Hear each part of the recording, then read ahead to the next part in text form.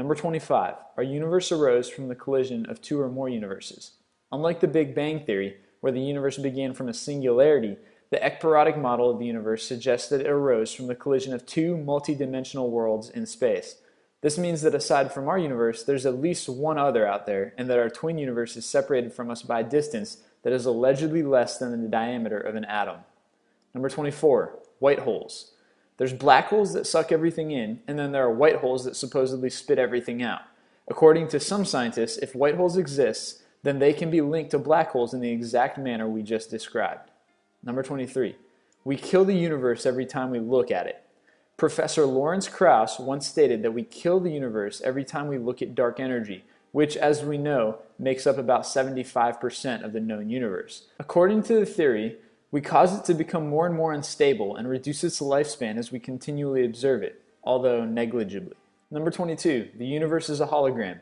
This isn't the theory suggesting that we live in a computer program. We'll get to that one in a minute. But this one suggests that the universe we live in is just a hologram made by the universe itself, aka an anonymous hologram creator. It tries to explain that what we see when we look at the sky is just a wall containing an image of galaxies and stars. Number 21. We live in a matrix universe. Although we're all familiar with the movie, scientists have also theorized that humans live in a computer program. These scientists believe that computers are the ones that simulate our consciousness and form what we consider reality. Number 20. A universe with many black holes has several baby universes. This theory arose from the theory that we're a child of a black hole. The idea is that when matter is pulled into a black hole, it becomes so dense that the hole spits it out and forms a universe from it. Remember white holes? Number 19. We create a universe every time we make a decision. This theory takes a different and more metaphysical approach to the theory of the omniverse, or having many worlds. It states that we give birth to a new universe every time we make a decision, since that's how we create reality. Number 18, our universe is constantly smashing into a neighboring universe. According to the clashing branes theory, our universe is a membrane flowing in higher dimensional space and constantly smashing into a neighboring universe. This theory leads to the idea that a new Big Bang is produced every now and then, which in turn leads to even more universes. Number 17, space time is a superfluid substance. The theory that space-time flows with zero friction is considered to be one of the most bizarre theories of the century.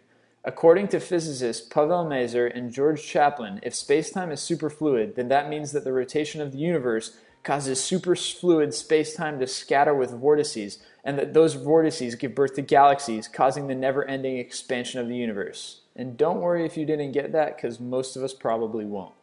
Number 16, universes continue to evolve, and those with the most black holes dominate the multiverse. A scientist once theorized that when matter is compressed to extreme densities at the center of a black hole, it leads to the creation of a baby universe. These universes continue to evolve, make a lot of other black holes, and dominate the multiverse. Number 15, the universe we see is hospitable, otherwise we would not be here to observe it.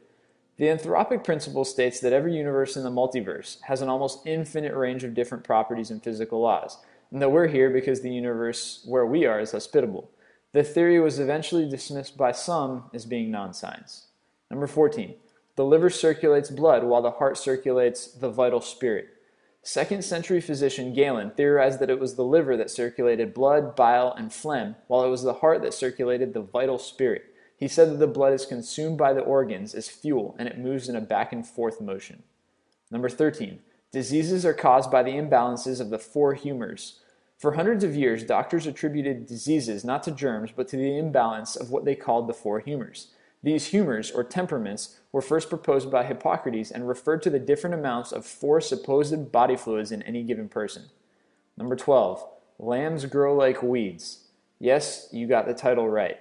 The ancient Greeks were the first to have the crazy idea that a lamb could grow right out of the ground, with a stem attached to its navel. Pliny the Elder later mentioned it, and Europeans picked up the idea again in the 14th century. Number 11, phrenology. Read your friend's head like a crystal ball. By taking measurements of the skull, phrenology's founder, Franz Joseph Gall, argued around the turn of the 19th century that you could determine a person's personality, traits, propensities, and intelligence. We bet he made a lot of money. Number 10, life on the sun. Although today we know the sun is basically an enormous nuclear furnace, in the 1700s people thought differently. Even William Herschel, the discoverer of Uranus, thought that sunspots were actually mountains peeking through the layer of clouds. Number 9. Homeopathy. Basically, the art of scamming sick people out of their money, homeopathy isn't even a scientific theory. The only reason we put it on this list is because it's a sham and the people who practice it claim that it's science. Don't get sucked in. Number eight, fire is made of an elephant called phlogiston. In 1667, a physicist named Johann Joachim Becher proposed to add another element to the already existing list of chemical elements on Earth, phlogiston. According to Becher, all combustible elements contain this stuff and release it when they burn. Today, phlogiston is only existing in history books. Number seven, alchemy. It was basically the pursuit of creating gold, or rather creating gold out of other substances. The only problem was that the alchemist needed to find the philosopher's stone, which was the magical key to not only initiating this transformation, but also to eternal life. It remains unfound. Number six, the seeds of life were brought to Earth through meteorites and asteroids. Also called the panspermia theory, this old belief suggests that life actually exists throughout the universe and that it just ended up on Earth via some sort of space rock. Number five, life on Earth started from garbage. Often considered one of the silliest theories ever, the garbage theory states that the origins of life on Earth can be traced back to billions of years ago when aliens dumped their trash on our planet. Number four, spontaneous generation. According to Aristotle, a creature could arise out of an inanimate or formerly animate object as a maggot grows from rotting meat. As crazy as it sounds, people believed this straight up until the 20th century, with some pseudo-scientific experiments supposedly proving that mice could grow out of old laundry. Number three, the whole universe is a computer. We've already discussed the theory that states we live in a matrix-like computer environment. However, the computer is the universe theory states that the universe itself is the computer in which we live. In essence, black holes, galaxies, stars, and everything else act as circuits and processors of a gargantuan motherboard where the most fundamental component of the universe is basically a bit. Yes, literally the same Boolean piece of data your computer uses to print this page.